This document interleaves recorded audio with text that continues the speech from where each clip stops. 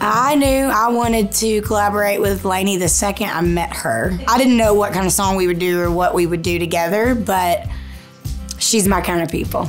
And I, I like to work with people that I would be friends with regardless of how I met them. And she's one of those. She is amazing. I wrote Thick as Thieves without Lainey. We tried to write it together. Um, she's also an amazing songwriter.